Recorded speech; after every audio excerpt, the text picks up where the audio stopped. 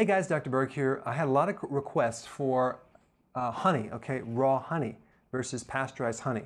So let's just talk about it. It takes 60,000 bees, 55,000 miles to make one pound of honey. And then we steal their honey, okay, we give them sugar water. It's just terrible.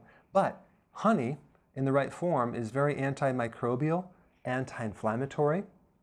Uh, and especially if you mix it with a little apple cider vinegar and lemon and water, uh, you know, it can help you. Anti-allergy. Why? Because it has pollen and has other factors that really will help build up your immune system. It even uh, can lower blood pressure, and it has B vitamins, magnesium, calcium, potassium. So basically, it's a sweetener that has a lot of good stuff. However, it still has 50% fructose in 50% glucose, which means it can slow down your weight loss and it does have a relatively high glycemic index. Now, there are certain types of honey, especially the Tupelo honey, that is much lower um, and it's used for diabetics in small, small uh, amounts. So if you want to consume honey for certain health reasons, uh, the, the version that I would consume would be the Manuka honey, okay? Uh, find that because it's a really unprocessed raw honey that has a lot of great properties.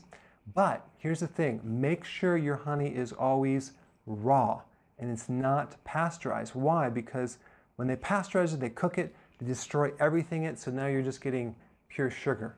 Um, now, yes, it's true that if you're you're not going to give raw honey to a baby because there's a risk of getting botulism. And by the way, my son, when he was six months old, got botulism, not from honey, from some other source. But it can be very, very scary and dangerous, so you don't want to give small infants. But if you're an adult, you can get away with it very easily. But uh, so my overall impression of honey is that it's really the quality.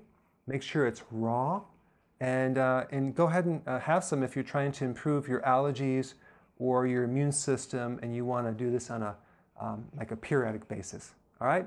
Thanks for watching.